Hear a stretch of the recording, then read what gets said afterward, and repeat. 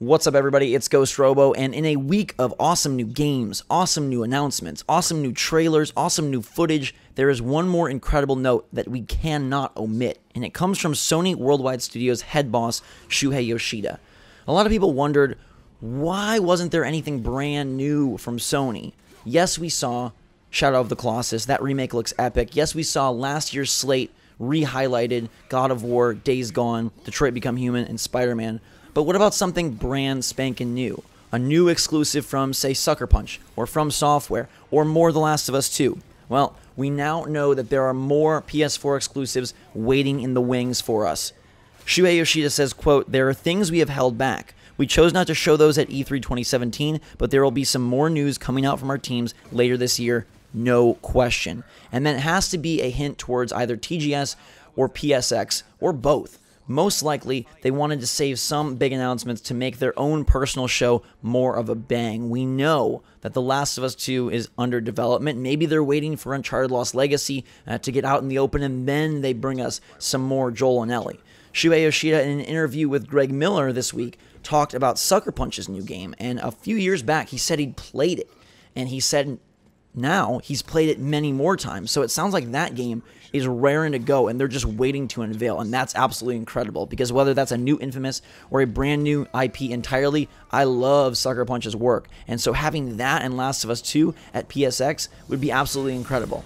And maybe From Software is well at work and well on their way on a new PS4 exclusive and they're saving it for TGS. Or perhaps they're going to go with a trifecta at PSX. But either way, it's great to know that they have a nice slate of games coming in the next six to 12 months, and then they have more beyond that. And it was sort of a surprise that they didn't show anything, especially with their conference format being game, game, game, game, game. I thought for sure we'd be teased at something for fall 2018 or even 2019. We knew it wouldn't be Death Stranding. I figured it wouldn't be Last of Us 2, but I was expecting either From or Sucker Punch to debut.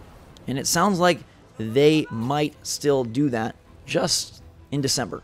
PSX is a big thing for Sony. It revealed The Last of Us 2 last year. That show and conference has gotten bigger and bigger, and this third year it'll probably be the best one yet. So let me know in the comments down below what game you want most to see at PSX 2017. Is it Sucker Punch's new project? Is it something from From Software? Is it just more of Joel and Ellie? I think for me personally, as much as I love The Last of Us, one of my favorite games of all time, we're getting Uncharted Lost Legacy, so I'd love to see what Sucker Punch is working on, and who knows, maybe that's even a 2018 title. He also committed to making sure that they hit early 2018 for God of War. He said he really is sick of delays, and while they don't have an exact date, they will be hitting early 2018. So that's some good confirmation from the head man himself that one, Sony is committed to hitting on their exclusives, and two, they've got more. I still can't wait to see when Days Gone, Detroit, and Spider Man release, but knowing there's even more underneath that is an awesome, awesome way to help wrap E3 2017. So let me know what you think in the comments down below. Hit that like button if you're pumped for more PS4 exclusives.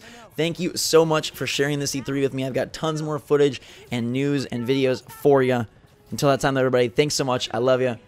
We will see you all later.